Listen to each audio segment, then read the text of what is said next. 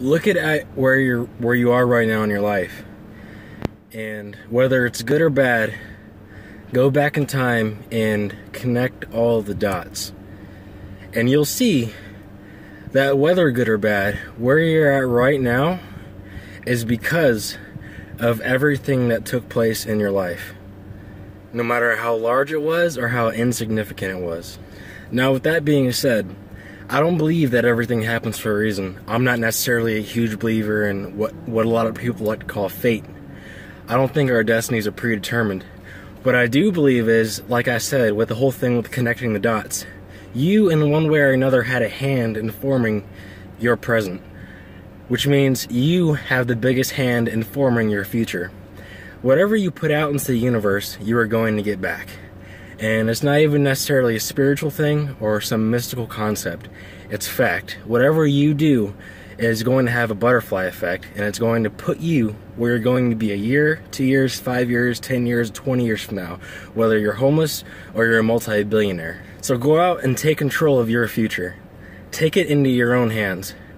Go out, put out this regardless of people who doubt you because you're going to have those you're going to have haters you're going to have people who are naysayers you're going to have people who doubt everything you stand for and everything you're going for. Regardless of all of that put all that to the side. Put out that put out your goal. Write it down once a day do something set a goal. Figure out where you want to be a year from now. Whether you like where you're at now or you don't figure out where you want to be a year from now or five years from now or whatever distance into the future wherever you want to be for now, put that out and then go go out and start doing things every day that that is going to work towards that goal because whatever you put out into the universe you're going to get back. Don't worry about the how. Say even if it's something ridiculous, I want to be a multi-millionaire by the time I'm 30. I'm 23 years old. I don't know exactly how I'm going to do it but I'm confident in that. I feel in my heart that's going to happen, so I'm going to go out and do that. The how, just like those dots, will connect. The how will work itself out over time. Just make small steps every day towards your goal after you figure out where you want to be, and let the how sort itself out. It's your life, man. You gotta, you gotta go out and you gotta, you gotta, you gotta grab life. You gotta take control of it. Wherever you want to be, wherever you end up, is ultimately on you. I don't care what anyone else does, what anyone else says.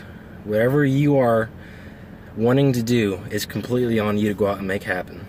Make the most of your life because before you know it, it can be over. It can be over just like that. Damn, I rose up in the front like Rosa. It's been a roller coaster.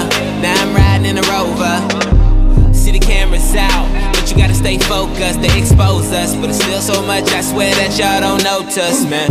You could tell them that I've been took a little time getting here, but I'm.